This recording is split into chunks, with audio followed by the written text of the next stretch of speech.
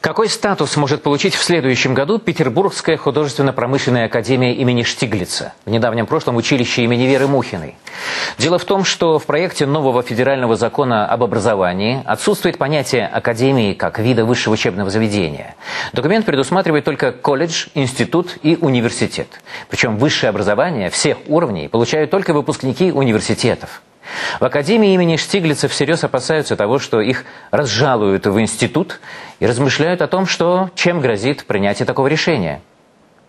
Еще в студенчестве Алексей Абакумов начал работать в Русском музее и с головой ушел в изучение живописи 18 века. Талантливому выпускнику «Мухи» музейщики предложили штатную должность научного сотрудника. Только поэтому с карьерой преподавателя аспирант Абакумов решил повременить. Я и работаю на стороне э, вот в Русском музее, но как бы преподавание, мне кажется, тоже достаточно интересно. По крайней мере, большинство из моих друзей, которые учились на отлично, которые закончили академию, у них большое желание пойти в аспирантуру и, как бы, возможно, продолжить преподавание.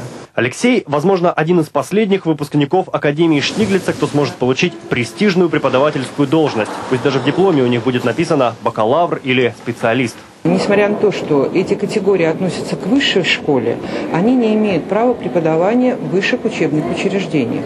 То есть в лучшем случае мы сможем преподавать в колледжах, а, в художественных училищах, в школах. Все дело в проекте нового закона об образовании. В нем не нашлось места академии. И значит, этим учебным заведениям придется в лучшем случае срочно стать университетами. Если мы вот не поборемся за свой статус, мы можем, конечно, получить, может быть, и то, чего мы боимся. Статус э, института, но практически не имеющий возможности давать высшее образование.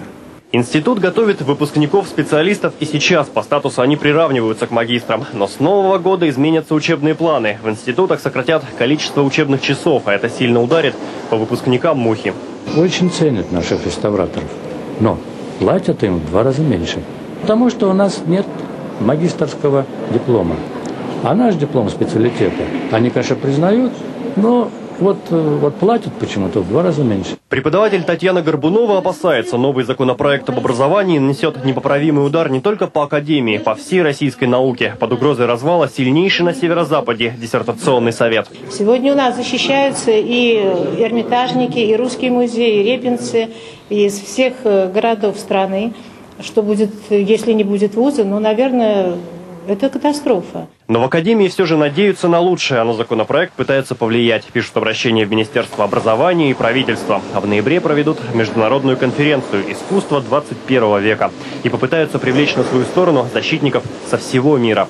Ведь выпускники «Мухи» работают во многих странах. Преподаватели считают, уникальный опыт нельзя уничтожить. И более того, прославленной Академии имени барона Штиглица нужно предоставить особый статус, хотя бы по случаю внушительной даты – в следующем году ВУЗ отметит 135-й день рождения. Андрей Курицын, Дмитрий Ферстанов, Марк Полухинских, Петербург.